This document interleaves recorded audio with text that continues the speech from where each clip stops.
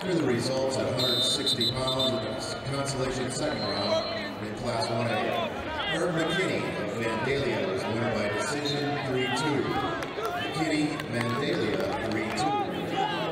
Colonel Watkins of Manteno won an overtime sudden victory 6-4. Watkins of Manteno sub-victory 6-4. Jake Schwartz of Commonwealth won by decision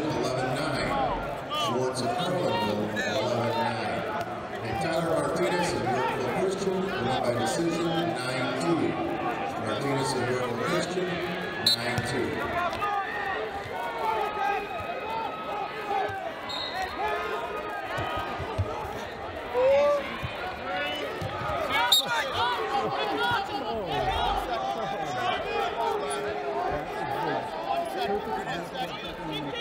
That's exactly.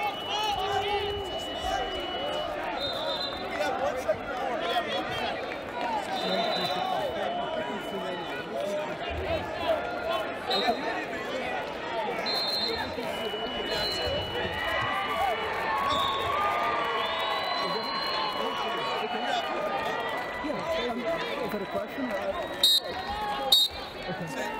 Okay. Oh, okay. That's right. Thank you. I felt bad, but.